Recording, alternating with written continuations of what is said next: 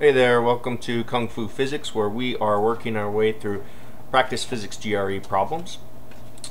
Problem I have for you this very early morning is uh, number 45 off of the 1992 exam.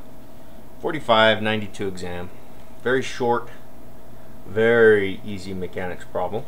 And so uh, this won't take long at all. Let's finish it off quick glance at the answers there doesn't help any. It's just uh, various measures of something h, so I uh, don't get too excited about those answers. I glance at them and then I start the problem. Number 45. A ball is dropped from a height h. As it bounces off the floor, its speed is 80% of what it was just before it hit the floor. The ball will then rise to a height of most nearly. So conceptually, what we have here is a ball that is hitting the ground in a non-elastic collision.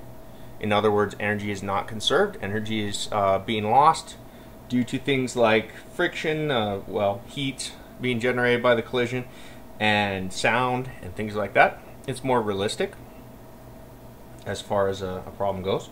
So um, let's just go ahead and, and do the problem it's, like I said, very straightforward. Energy is conserved, however, as the ball is falling from its initial height. So it starts at height h with this potential energy. That energy is completely converted to kinetic energy right before it hits the ground. So I get the relation mgh equals 1 half mv squared.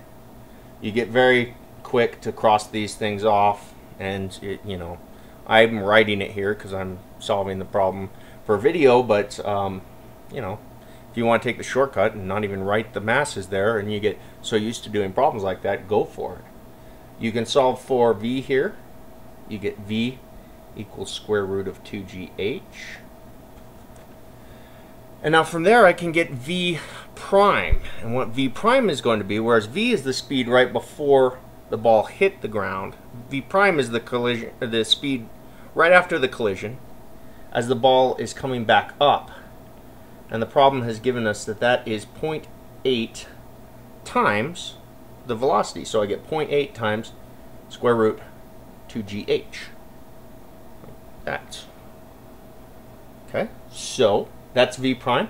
I set up another relation over here, mgh prime equals 1 half mv prime squared. Drop off the m's. I can move the g over, or I can just leave it there at this point. Uh, I see the v prime squared here, and I want to substitute for that. And I've already have a relation here for v prime, so I can easily say, well, what is v prime squared? And I just square this jump. 0.8 squared is just 0.64, right? It's just 8 times 8, which is 64, times the square root of 2gh, which of course is just, when we square that, we get 2gh. So I get v prime squared equals 0.64 times 2gh. And I substitute that back into my relation up here. So I end up with gh prime equals 1 half times that stuff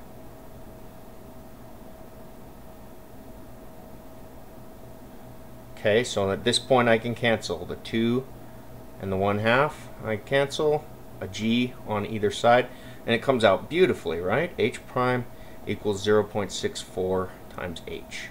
Is that one of my answers? Check it. Uh-huh, uh-huh. Number D, letter D, rather, 0.64 times the height. And conceptually, makes sense to me um, I would go ahead and pick that pretty confidently. Uh, answer D, 0.64 times the height.